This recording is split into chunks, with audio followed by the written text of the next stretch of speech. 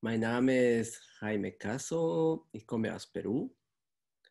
Und ich habe geboren um 3400 Meter hoch, aber ich bin jetzt in Europa ungefähr 23, 21 Jahre.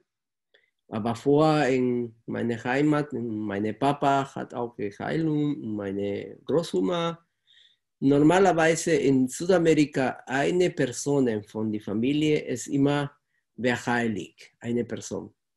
Ja, mach äh, mit Tabak, mit Eier oder mit äh, Massien, immer helfen die, die Familie. Äh, immer habe ich gegangen, wo die Heilag war. Die alte Menschen hat ge, ge, gesprochen, gezeigt die Geschichte. Und dann hat langsam, langsam geboren mir das.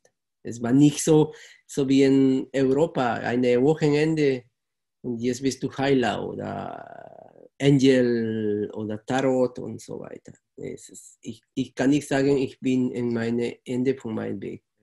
Es gibt so viele Möglichkeiten zu lernen.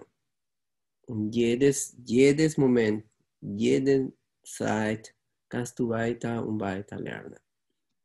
Und wann hast du deinen Lehrer getroffen? Äh, ich war 21 Jahre und war so intensive war und dann haben so mehr als zehn Jahre zusammen waren wir, aber intensiver sieben Jahre zusammen ge, ge, nicht arbeiten, ge, Zeremonie gemacht zusammen und bei jedem Freitag äh, die ganze Nacht je, oder manchmal sieben Tage, sieben Nacht zusammen war. Im Wald, im Regenwald, im, im Berge, überall zusammen war.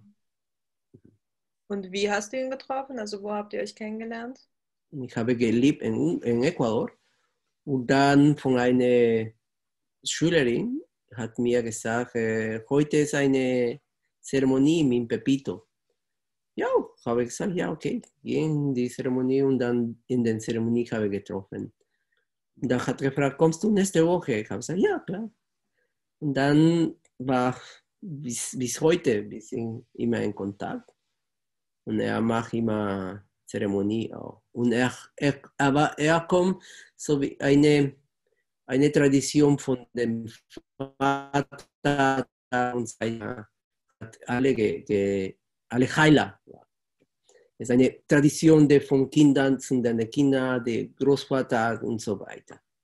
Da, das Leben in, in Südamerika ist, ist einfacher, du bist immer in Kontakt mit Natur, bist, bist du immer in Kontakt mit den Heilag. Es ist normal, wie eine Kinder ist krank geworden, ist die erste, die erste Schritt gehen nicht in Krankenhaus oder zum Arzt.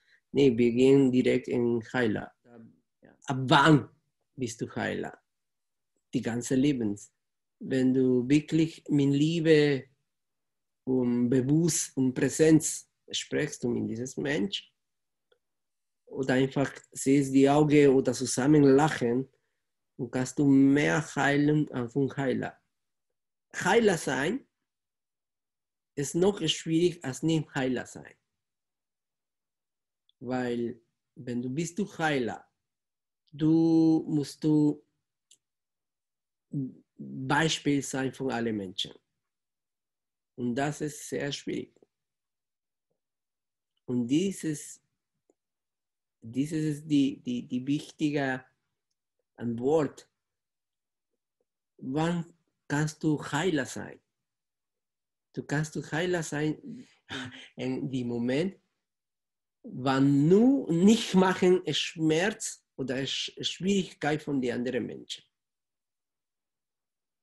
Wenn du machst du Schmerz, Trauer oder schlechte Sache und dann bist du Prozess von den anderen Menschen. Du bist die Tyrann, Tyrann, ja. Und wir brauchen viele Tyrannen und dann können lernen. Dankeschön. Vielen Dank für deine für deine Worte. Muchas gracias. Dankeschön. Bis bald. Bye.